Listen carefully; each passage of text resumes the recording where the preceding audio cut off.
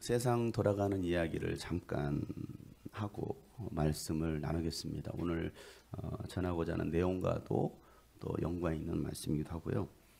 어, 지금 전 세계 이슈가 뭡니까? 어, 코로나 바이러스라는 것이 전 세계 이슈이기도 하고 또 전 세계가 이 공포에 사로잡혀 있습니다. 뭐 우리 또한 예외는 아니겠죠. 중국 우한에서부터 발병한 지 두 달 정도밖에 지나지 않았는데 전 세계 10만 명이 넘는 확진자가 발생했습니다. 아, 우리나라도요. 오늘을 기준으로 어, 어제 뭐 영시인데 오늘 기준으로 현재 7천 명이 넘는 그런 확진자가 나왔고요. 어, 전 세계에서는 3,400명이 넘는 사망자가 발생했습니다. 아, 또 어떻습니까? 100개국이 넘는 나라에서는요, 우리나라 입국 제한 조치, 우리 대한민국 국민들을 입국 제한 조치를 취하는 그래서 국제적으로 우리나라가 봉쇄돼 버리는 그런 상황.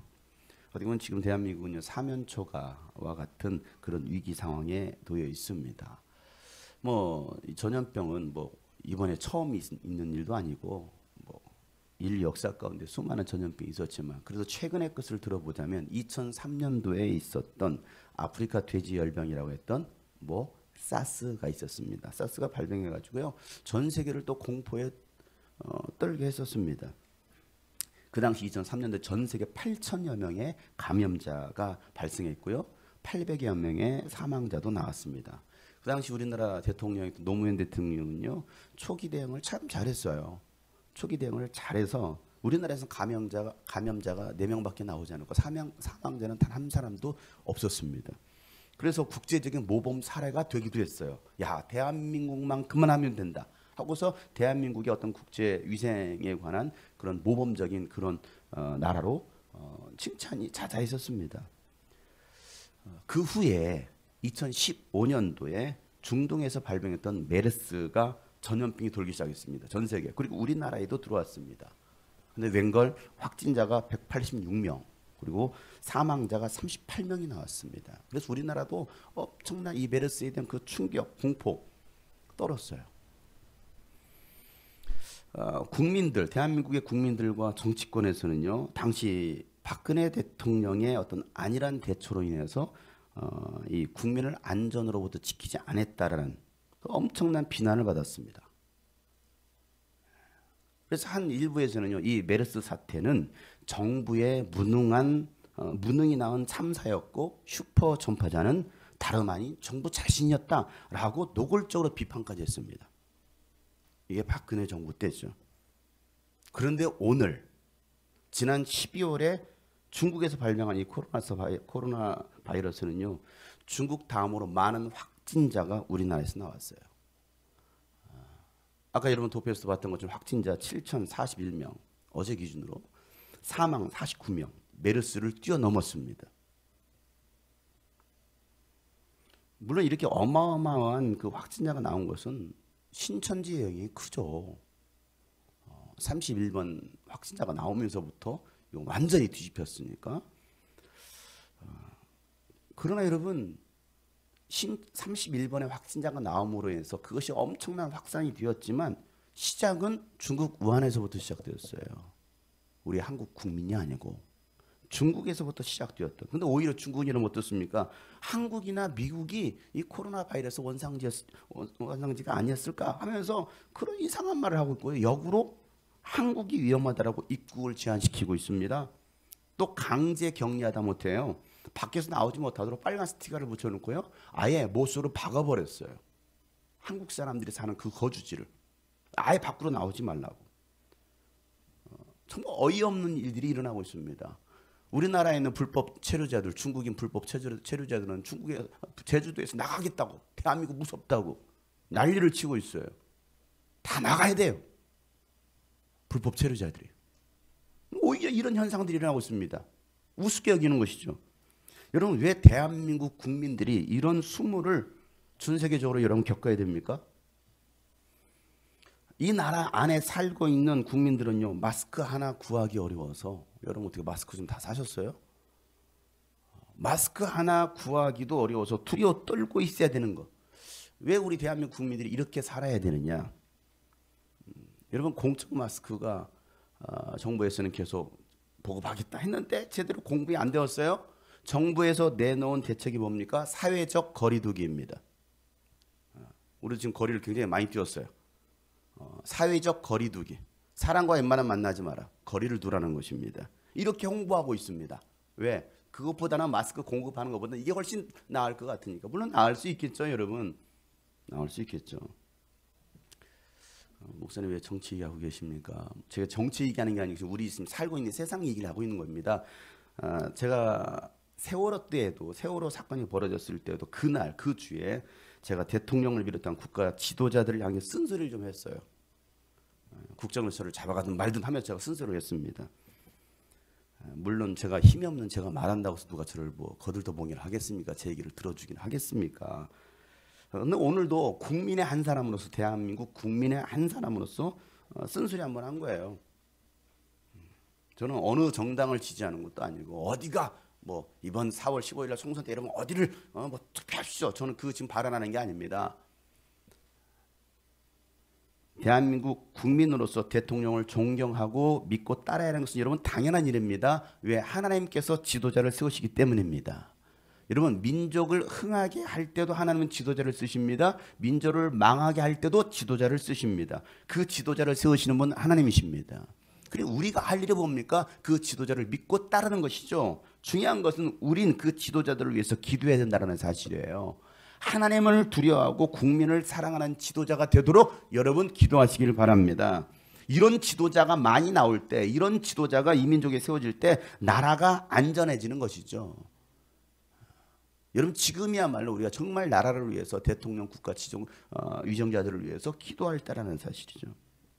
우리는 지금 이런 시대를 살아가고 있어요. 이 시대를 우리는 잘 살펴봐야 됩니다. 전염병이 중국 우한에서부터 시작했지만 이만희를 믿는 이만희를 믿는 사이비 집단 그 신천지가 전국 전염병 확산의 주 요인이 되긴 했어요. 그잖아요. 뭐 우리가 부인할 수 없는 사실이에요. 또 그들은 지금 방해 공작을 피우고 있습니다. 그들은 여전히 이만희를 신뢰하고 떠받들고 있습니다. 그런데 문제는 뭐냐면요. 그런데 문제는 뭐냐면 방송에서 신천지를 교회로 소개하면서 안 믿는 사람들은 정상적인 이런 교회들까지도 다 싸잡아서 비난하고 있다는 사실이에요. 다 똑같이 취급하고 있다는 것이죠. 여러분들도 신천지와 별다를 바 없다라는 거예요. 이게 큰 문제라는 거예요. 자, 이런 사태들 여러분 잘 살펴보세요. 지난주에 경북의 몇몇 지자체에서요. 교회에서 진행되는 모든 집회와 예배를 금지하는 행정 명령까지 내렸습니다. 그리고 하루 만에 철회했습니다. 내용에는요. 이런 게 들어 있었습니다. 예배를 드리면 벌금 300만 원을 내게 하겠다라는 거예요. 그랬다가 어, 워낙 이제 반발이 있으니까 하루 만에 처리합니다라고 했습니다. 여러분 아십니까? 어젯밤 국회에서는요. 어젯밤 자정에 국회에서는요. 코로나19 확산 방지를 위한 종교 집회 자제를 강력히 촉구한다라는 결의안을 의결했습니다. 어젯밤에. 경기도지사는요. 어제 자신의 SNS에 종교단체 예배를 금지시키는 것에 대해서 도민의 의견을 묻는다라는 글을 올렸습니다. 저에게도 계속 문자가 오늘 아침에도 문자가 왔어요. 가정 예배로 드려주시기를 바랍니다. 집회 모든 예배를 자제해달라는 문자입니다.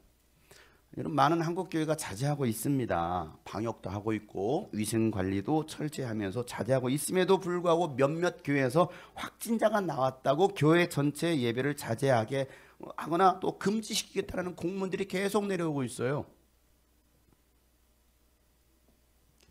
어, 지난주에 제가 대형마트를 가봤거든요. 대형마트를 가봤는데 뭐 평상시보다는 많지 않았어요. 평상시보다는 많지 않았지만 그래도 여전히 사람들은 그 대형마트에 많이 있었습니다. 자, 그들은 각자 마스크를 다 쓰고 있었어요. 그리고 위생에 신경 쓰면서 자기 할 일을 하고 있었습니다. 그런데 교회에 대해서만큼은 굉장히 민감하다라는 거예요. 이 기독교에 대해서만큼은. 사람들이 많이 모이는 백화점이나 마트에서 확진자가 나오면 모든 백화점과 마트의 판매를 자제하라고 시킵니까? 잘 생각해 보세요. 자, 확진자가 대중교통을 이용하다가 그 대중교통을 이용했어요. 그럼 여러분 그 대중교통 운행을 자제하라고 여러분 지시합니까? 발견된 것이면요. 마트든 교회든 다 폐쇄합니다. 교회가 폐쇄하지 않는 게 아니야. 폐쇄합니다. 그런데 유독이 왜 교회를 향하여서 사람들은 교회에서 예배를 드린다고 하면요. 사람들을 비난하기 시작합니다. 여러분들은 비난의 대상이 되고 있어요. 제가 오늘 그래서 회정을 웬만하면 찾지 말라고 했습니다. 모자이크 처리해서 나가야 될지도 몰라요. 교회가 마치 전염병을 퍼뜨리는 곳으로 사람들은 생각합니다. 이곳이. 그러니까 신천지화 시키는 거죠. 여러분 교회에서 예배 드린다고 협박까지 해요. 너 교회 갔어? 협박합니다. 그래서 오늘 오지 못한 사람도 있을 거예요. 너 교회 갔다고? 이상한 눈으로 봅니다. 직장에 출근하지 못하게 하거나요. 교회 갔다라는 이유로 교회 가면 출근하지 마세요. 심한 경우는요. 신전지 취급하면서 강제 휴직이나 퇴사까지 하라고 합니다. 지금 오늘, 오늘 우리가 살고 있는 이 시대 너 하나 때문에 우리 직장이 멈춰 어? 너 하나 때문에 우리 직장 멈추 멈추게 하지 말라라는 거예요. 너 하나 때문에 우리 직장 손해 보게 하지 말라라는 거예요. 여러분 이것은요 전염병 예방이 아니고요. 잘 들으세요. 전염병 예방이 아니라 종교 탄압이 시작되었다라고 생각하지 않으세요? 이젠 전염병 차원을 뛰어넘었습니다, 여러분. 종교 탄압이 시작되고 있어요. 뭐에 대해서? 기독교에 대해서. 예배를 자제하라고 하면서 온라인 예배로 형식만 바뀐 것이라고 말을 합니다. 형식만 바뀌었대요. 여러분, 여러분 꼭 여기서 뭐 해야 됩니까? 집에서 예배하면 되지. 형식만 바뀐 거예요. 우리는 탄압하는 게 아닙니다. 라고 말을 하고 있습니다. 여러분 형식이 바뀐 것이 아니라 여러분은 지금 철저히 감시당하고 있는 거예요. 예배당에 모여서 예배하면 정부 방침을 따르지 않고 국민 건강을 위협하는 나쁜 교회인 거고 온라인 예배를 드리는 교회는 좋은 교회라는 식의 프레임을 만든 거예요, 여러분. 지금은 오늘도요 경기도 지역 교회가 56%가 모여서 예배할까라는 그 조사 결과가 나오니까 어제 이재명 경기도지사가 이번 주 상황을 지켜보고 쉽게 말하면 교회에서 이번 일론에서 오늘 모여 집단적으로 예배함으로 인해서 만약에 확진자가 한 명만이라도 더 나온다면 종교 집회 금지 명령을 내리겠다라는 고민을 하겠다라는 이야기를 했습니다. 오늘을 기점으로 이번 주에 이제 교회 안에서 얼마나 나오느냐. 우리는 이번 주 어, 만약에 이번 주 이게 법으로 금지를 시키면요, 이제 우리는 모여서 예배하는 것이 불법이 됩니다. 저는 주동자가 되는 거고요. 저는 고발당할 겁니다. 대표로서. 여러분들은 공범자가 되는 거예요. 같이 이 모임에 함께 했기 때문에. 고발하는 자와 고발당하는 자. 누군가는 여러분을 감시하면서 교회 갔다고 고발할 겁니다. 교회 갔다며 고발할 거예요. 그래서 놀랍게도요. 예수님께서 마지막 때가 되면 이런 일이 일어날 것이다라고 말씀하고 계십니다. 마태복음 24장에 보면요. 9절에 그때 사람들이 너희를 환란에 넘겨줄 것이며 이렇게 말합니다. 환란에 넘겨준다는 거예요. 그리고 너희를 뭐 할 거라는 건 죽일 거라는 거예요. 고발하겠다라는 것이죠. 또 너희는 내 이름 때문에 예수 이름 때문에 모든 민족에게 미움을 받을 것이다. 이거 예수님 하신 말씀이에요. 예수 이름 때문에 모든 민족에게 미움을 받을 것이다. 다른 종교는 다 중단하는데 왜 기독교만 중단하지 않느냐? 다른 종교는 진리가 없거든요. 생명의 종교가 아니거든요. 기독교는 어떻습니까? 생명의 종교거든요. 하나님 살아계신 하나님을 섬기는 거거든요. 하나님을 예배하는 거거든요. 정부가 하는 일에 정부가 지시하는 우리가 반대하는 게 아니에요. 협조하고 있잖아요. 기독교 협조하고 있습니다. 대형 교회 많은 교회들이 문 닫았어요, 여러분. 100일 주년 3일 3일절 기념주일에 대부분의 대형 교회들이 문 닫았어요. 또 자진해서 많은 교회들이 문을 닫았습니다. 그럼에도 불구하고 너희들 다 닫지 않았잖아. 손가락질하는 거예요. 고발하는 거예요. 왜 100% 말을 안 들어? 우리 국민이 그렇게 정부의 말을 잘 들었나요? 그렇게 법을 잘 따랐나요? 그런데 왜 이거에 대해서만큼은 누가 뭐 12장 53절 말씀에 보면요. 예수님께서도 마지막 때에 관한 말씀 이렇게 말씀하셔요. 아버지가 아들에게 맞선대요. 아버지가 아들을 고발합니다. 아들이 아버지에게 맞선대요. 아들이 아버지를 고발합니다. 어머니가 딸에게 맞서고요. 딸이 어머니에게 맞서고요. 시어머니가 며느리에 맞서고요. 며느리가 시어머니에 맞서서 서로 갈라질 거래요. 이게 마지막 때 일어날 일이라고. 예수님이 하신 얘기잖아요. 그러니까 감시자들, 고발자들이 여러분 안에 있어요. 여러분 집 안에 있다라는 거예요. 가까운 곳에 있다라는 거예요. 내부자들, 고발자들. 여러분 지금은 시작에 불과합니다, 여러분. 지금 일어나고 이런 일들이요. 대한민국 이제 시작이에요. 이제 첫 발을 내디딘 거예요, 여러분. 교회가 뒤로 물러서고 있습니다. 여러분 어떻게 하시겠습니까? 그래도 예배하시겠습니까? 여러분 일제 강점기에도 6.25 때도요. 교회가 예배를 포기하지 않았고요. 목숨 걸고 예배를 지켰던 때를 생각하면요. 마음이 아프지 않을 수가 없는 거예요. 이런 상황들이. 물론 코로나와의 전쟁이라고 말을 합니다.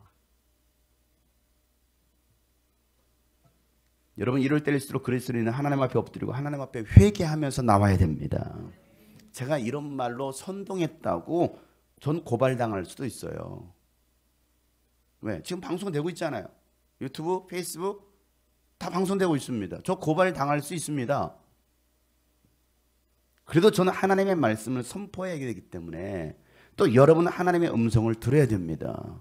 역대하 7장에 뭐라고 하나님께서 말씀하십니까? 들어라. 내가 하늘을 닫고 비를 내리지 아니하거나 메뚜기를 시켜서 땅을 황폐하게 황폐하게 하거나 어제 나눴던 말씀인데요. 지금 중국에 지금 메뚜기 떼가 중동에서 메뚜기 떼가 어마어마한 메뚜기 지금 날아오고 있습니다. 그 중국 온 땅을 막 휘, 그냥 쓸어버릴 정도의 메뚜기 떼가 지금 밀려오고 있어요. 메뚜기 재앙을 당하거나 나의 백성 가운데 연병, 전염병이 들게 할 때에 내 이름으로 일컫는 나의 백성이 스스로 겸손해져서 기도하면서 나를 찾고 악한 길에서 떠나면 내가 하늘에서 듣고 그 죄를 용서해주고 그 땅을 다시 번영시켜 주겠다. 라고 하나님께서 말씀하십니다. 이 땅을 회복시켜 주시겠다는 거예요. 뭐할 때? 믿는 자들이 겸손하게 하나님께 엎드리라는 거예요. 그동안 교회가 너무 교만했어요. 기독교인들이 너무나 교만했습니다. 너무나 부패했습니다. 타락했습니다. 하나님도 없어요. 한국 교회 정말 철저하게 이번 기회에 엎드리고 회개해야 됩니다. 그리고 하나님 앞에 나가야 됩니다. 겸손하게 엎드려서 주 앞에 회개하고 나가면 그들의 죄를 용서하시고 이 땅을 회복시켜 주시겠다는 말씀하시는 거예요.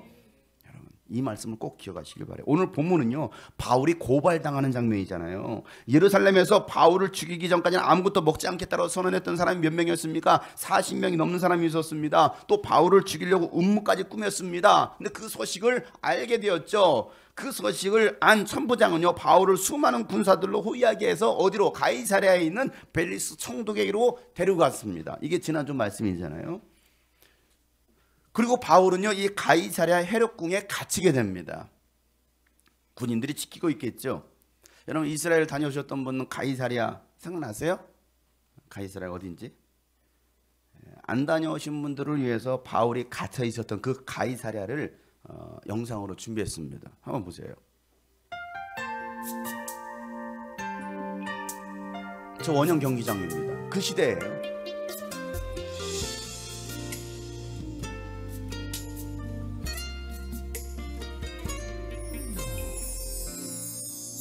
지중해 연안에 있는 그 저 가이사랴 저 지금 지금 다 황폐에 다 무너졌지만 저게 바로 헤롯 왕궁터가 있었던 그리고 마차 경기 경기장이 있었던 곳이죠. 자 저곳에 지금 바울이 가 있어요. 그리고 감옥 어딘가에 그는 갇혀 있습니다. 바울이 이제 요 말씀 바로 배경이 바로 저기를 두고서 하는 이야기예요. 저 촬영했던 그 장소 그 아래쪽이 바울이 갇혀 있었을 것이다라는 얘기를 하고 있죠. 자, 어, 이 천부장은 바울을 이 가이사라로 벨리스 총독에게로 데리고 와서 그는 지금 헤롯 궁에 갇혀 있는 상황이고 5일이 지난 다음 닷새 뒤에 대제사장 예루살, 예루살렘에 있었던 대제사장 아나니아가 몇 명의 장로들과 더들로라는 변호사를 데리고 와서 총독에게 바울을 고소하는 장면이에요. 자, 2절 말씀. 우리나라에도 고소 잘하는 변호사 한 명 있죠? 자, 2절 다 같이 시작. 바울을 불러내니 더둘로가 고발하여 말하였다. 벨리스 총독님, 우리는 총독님의 덕분으로 크게 평안을 누리고 있습니다. 그리고 각하의 선견 지명의 덕택으로 개혁을 많이 이룰 수 있었습니다. 자, 보세요. 여러분 대제사장이 데리고 온 변호사의 이름이 뭐예요? 더둘로예요. 이름처럼 더둘러 되잖아요. 예? 자, 뭐라고 더둘러 됩니까, 여러분? 더둘러니까 더둘러 되는 거예요. 자, 먼저는 총독을 향해서 아첨의 말을 굉장히 쏟아냅니다. 아첨의 말을. 자, 이 2절 말씀. 자, 이 말을 지금 우리 식대로 하면요. 이런 말이에요. 문재인 대통령님, 우리는 대통령님의 덕분으로 크게 평안을 누리고 있습니다. 그리고 대통령 각하의 선견 지명의 독택으로 이 나라에서는 개혁을 많이 이룰 수 있었습니다. 우리나라에도 엄청난 개혁이 일어났죠. 자, 그 다음 뭐라고 말하고 있을까요?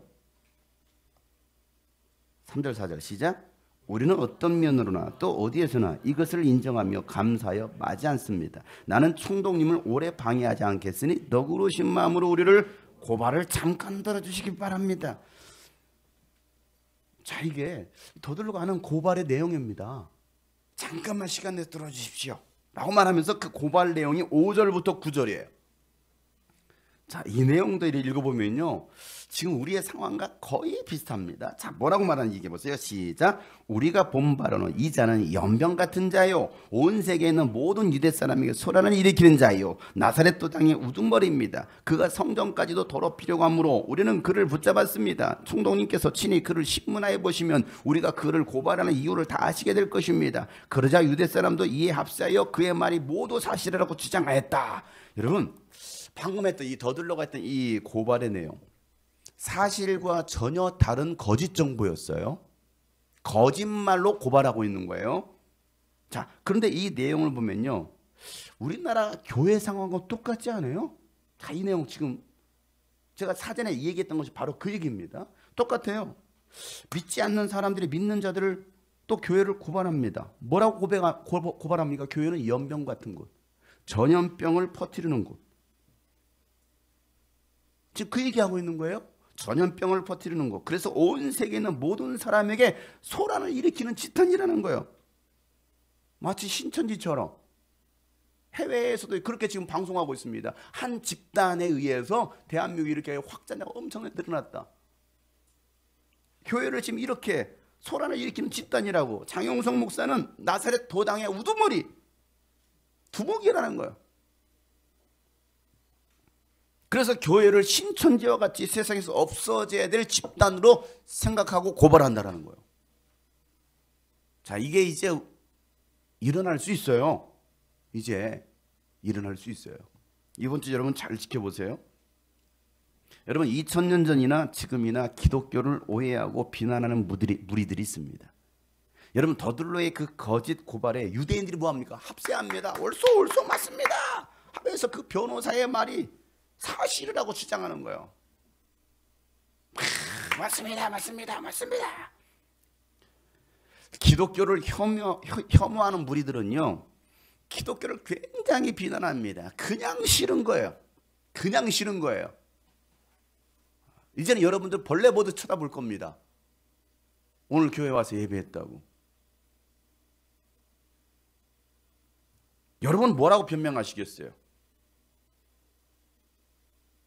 자 오늘 내일 직장 가서 교회 갔다 왔다며? 교회 갔다 왔어? 아 교회 다닌 사람인지 알 테니까 교회 갔어 어제? 뭐라고 변명하시겠어요 여러분? 그냥 어떤 사람 교회 안 갔어요. 안 갔어요. 갔는데도 안 갔어요. 안 갔어요. 아니 이제 안 갈 거예요. 라고 말하시겠습니까? 어떤 변명하시겠어요? 이는 바울의 변명을 한번 들어보세요. 바울의 변명. 이 더 변호사의 짧은 거짓 내용에 비해요. 바울의 변명은요 아주 명확하고요 사실에 근거한 내용으로 자신을 변호하기 시작합니다.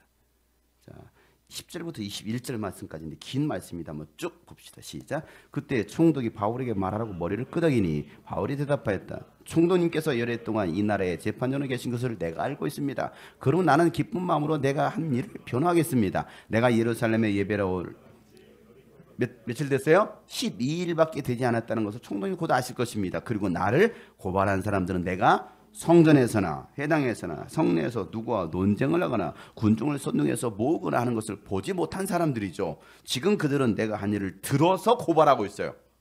자기가 직접 본 게 아니라 뭐해서 들어서 교회가 어떤 것인지를 알지 못하면서 그냥 대충 주워 들은 걸로 교회를 비난하는 것이죠. 고발하는 거예요. 예수님이 누군지도 몰라요. 근데 대충 들어서 교회를 싸잡아서 비난하는 거예요. 자, 들어서 고발하고 있지만 시작 총독님께 아무 증거도 제시할 수 없습니다. 증거가 없어요. 사실이 아니니까. 그러나 나는 총독님께 이 사실을 고백합니다. 그것은 내가 그들이 이단이라고 하는 그 도를 따라 우리 조상의 하나님 누구를 섬겨요?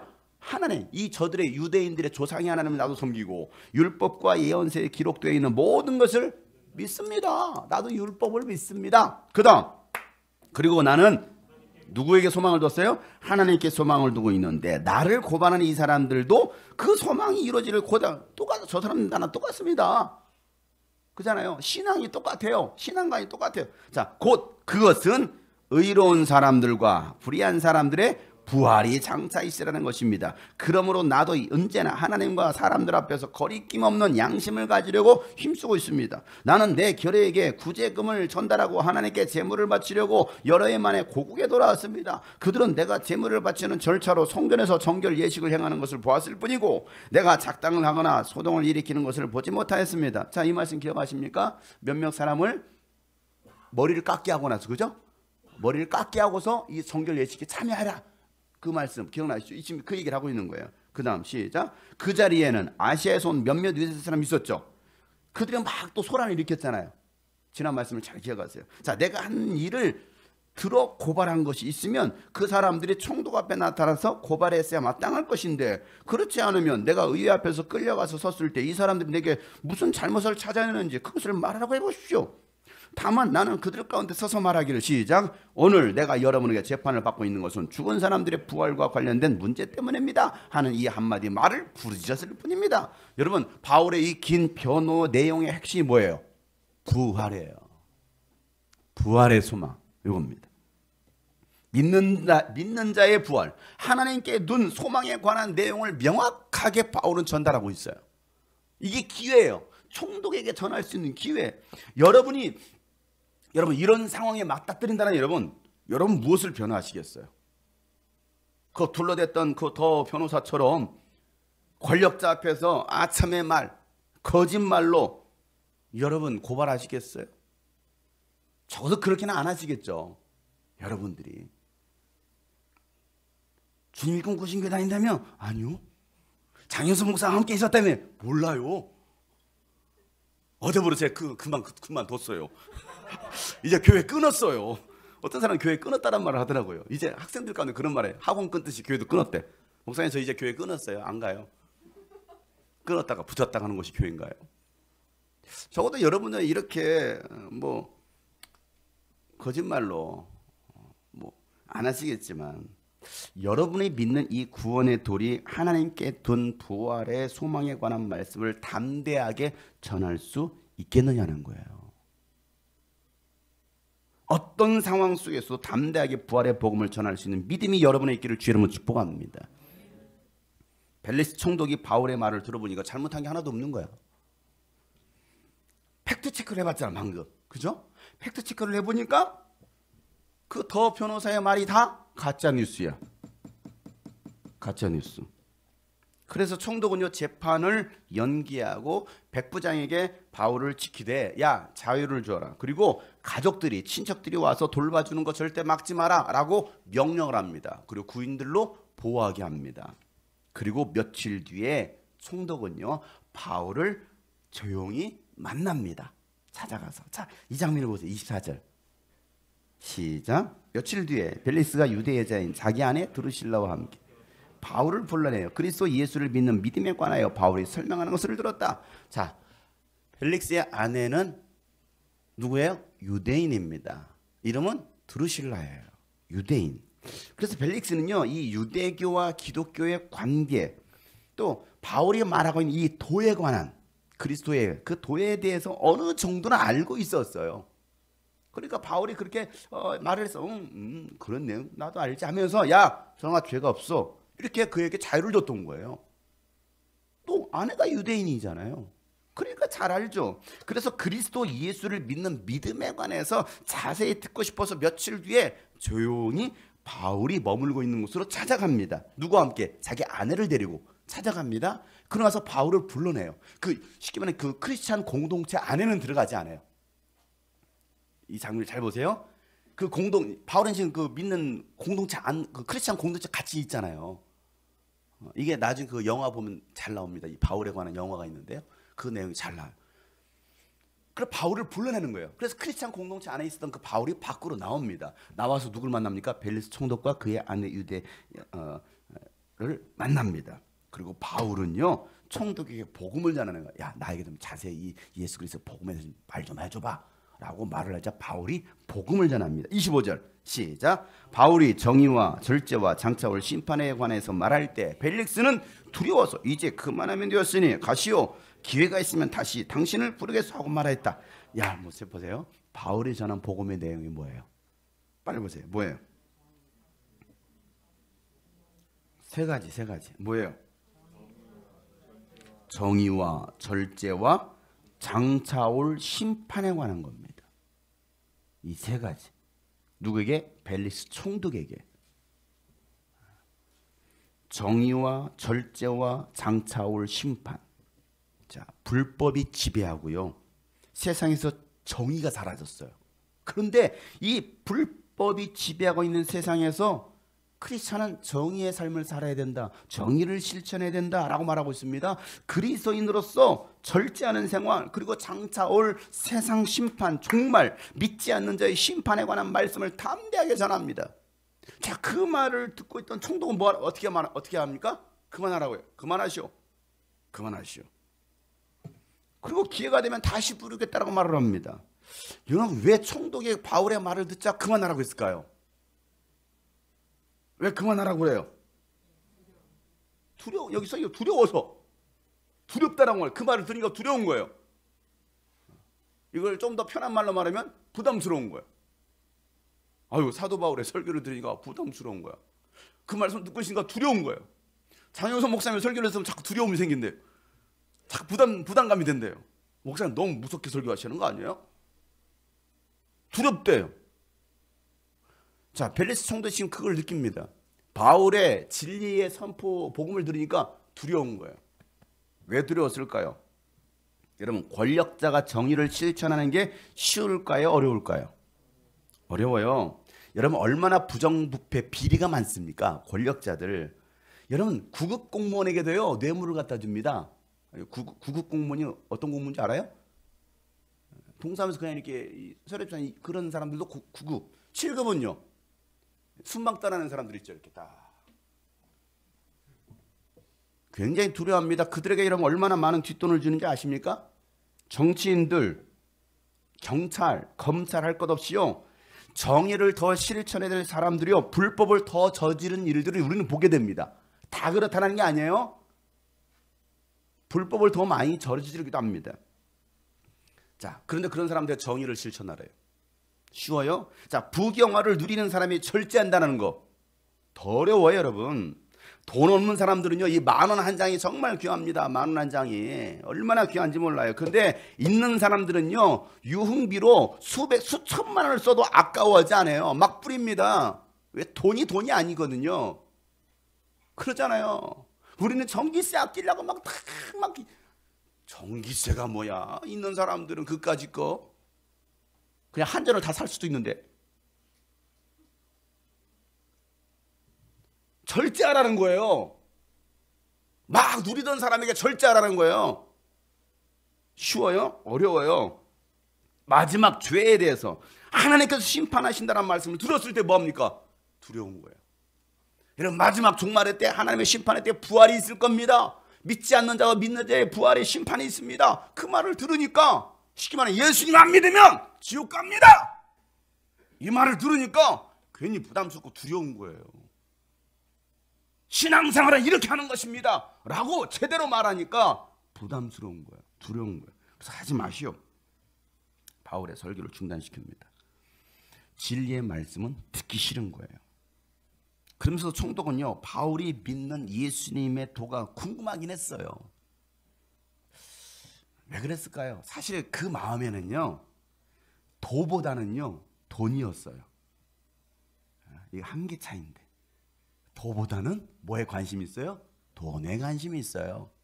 자, 26절에요. 읽어보세요. 시작. 동시에 그는 바울에게서 돈을 받을까 하고 은근히 받았다. 그래서 그는 바울을 자주 불러내어 이야기를 하다 총독이 바울에게 자유도 줬죠. 그러니 뒤도 봐준다고 생각했기 때문에 그잖아요. 바울을 지금 뒤를 봐준다고 생각하지 않습니까? 바울이 총독에게 뒷돈을 주지 않을까라는 흑심을 가지고 바울을 찾아갑니다. 도도 궁금하겠지만 그 도를 이용한 돈을 요구하고 있는 거예요. 왜? 바울이 구제금을 가지고 예루살렘에 가서 예루살렘 교회 구제금 냈죠. 또 자기 하나님께 헌금도 하죠. 그런 얘기를 들으니까 나에게도 돈을 주지 않을까라는 생각, 악한 생각을 가지고 있어요. 신천지가 대구시에 120억을 기부했습니다. 120억. 그 돈이 어떤 돈인데? 전도 안 하면요. 120만 원을 벌금을 내린대요. 여러분 다 벌금 내셔야 돼. 이 우리 교회도 적용할까 생각 중입니다. 그래서 1등한 전도 1등한 사람이 20만 원을 또 상금으로 몰아서 주는 거야. 100만 원은 벌금, 20만 원은 어, 모아가지고 그래서 이만희 씨가 다 받아갔대요. 항상 1등이니까 전도 1등이니까. 얼마나 좋아요. 전도 안 하면 벌금 120만 원. 그래야 천국 가니까 벌금이라도 해서 좋은 자리에 앉아니까 13만 4천 명 안에 들어가야 되니까. 악착같이 그들이 그렇게 하고 있습니다. 왜? 14만 4천 명이 안 찰 거라고 생각했거든요. 웬걸 지금 20만 명이 넘어 30만 명이 되버리니까 이 바꿔야 되는 거야 이제는. 그래서 그 14, 진짜 믿음의 헌금도 많이 하고 전도도 많이 하는 사람 14만 4천 명 안에 들어와야 된다. 이렇게 바뀌어 버렸어요. 이만이 안 죽는다고 했거든요. 근데 막 늙어가고 자. 막 혀놓고요. 뭐라고? 안 들려. 뭐라고? 방송에 나와가지고 이러니까 막 죽어가고 있거든. 교리를 바꿔야 돼요. 어떻게 바꾼지 아십니까? 영상하실 이만희님께서 영생하셔야 되는데 너무나 이 땅에서 힘들게 사역해서 하나님께서 이제는 데려가실지도 모른다고 이렇게 바꿔놨어요. 전도 안 분은 120만 원씩 연말 정산해서 가지고 오실 바랍니다. 우리 또 이단이라고 할라 또, 또. 이것만 꼭이 악마의 편집을 합니다. 장영수 목사가 이렇게 얘기했다고. 여러분 신천지가 대구시에 120억을 내놓듯이 바울도 그러지 않을까라는 생각을 지금 누가 하고 있습니까? 총독이 하고 있는 거예요. 근데 바울은 뭐만 하고 있어요? 복음만 전하고 있어요. 돈 줄 줄 알았는데 복음만 전하고 있어요. 자, 그래도 총독은요 돈을 바라고 뭐합니까? 자꾸 바울을 부릅니다. 계속 얘기합니다.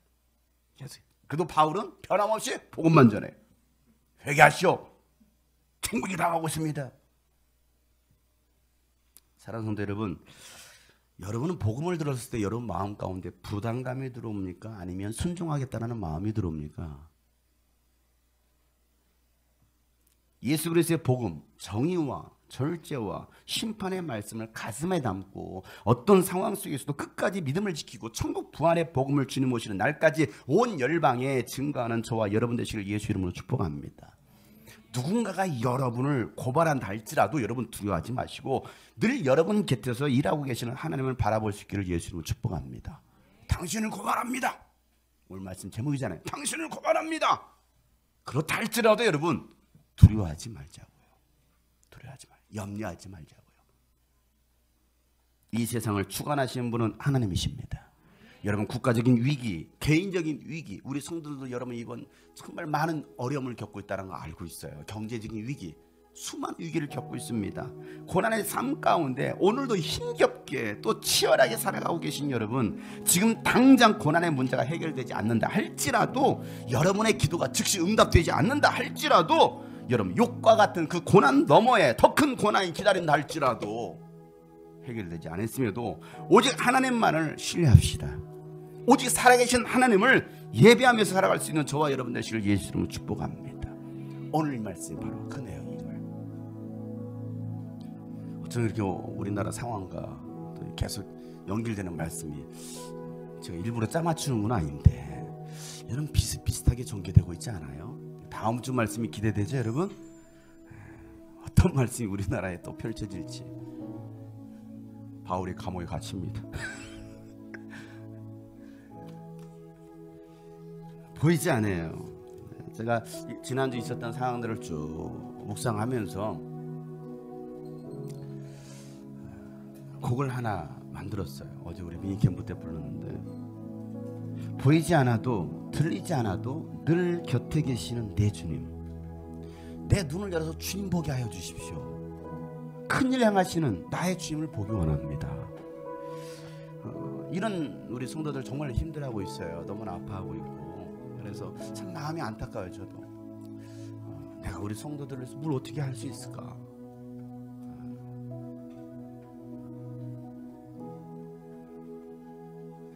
여러분이 겪고 있는 그 고난들 위기들 제가 여러분을 뭐 다 위로할 수 없겠지만은 제가 위로하고자 하는 그 마음보다도 하나님께서 여러분을 위로하시는 마음이 더 큰 줄로 믿습니다.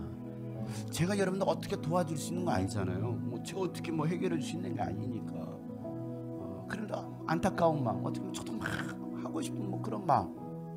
저도 막 그래서 막 지역 경제를 살자 어제 막, 막 짜장면집 가자 막 왜 지역이라 왜다 어려우니까 다 어려우니까 뭐 어떻게 할 수 있는 상황들이 안 되니까.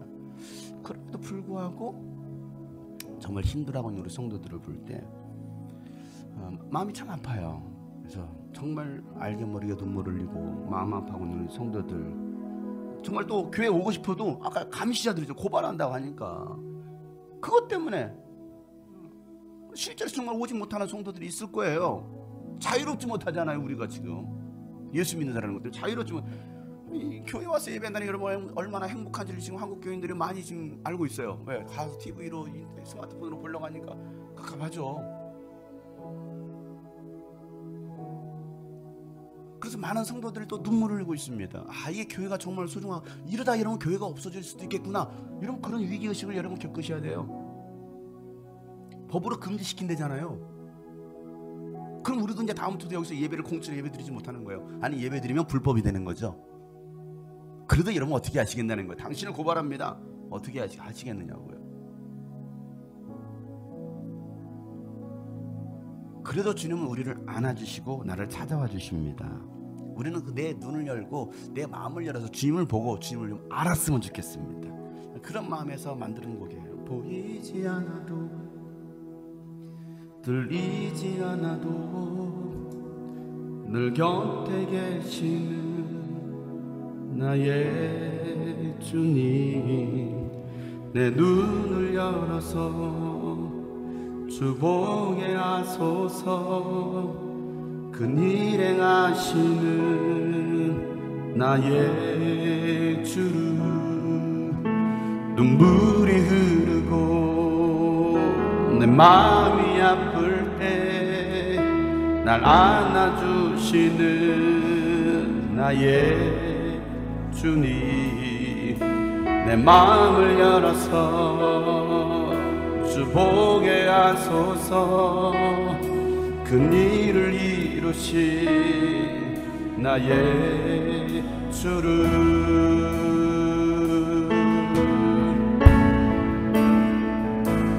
나 주를 보기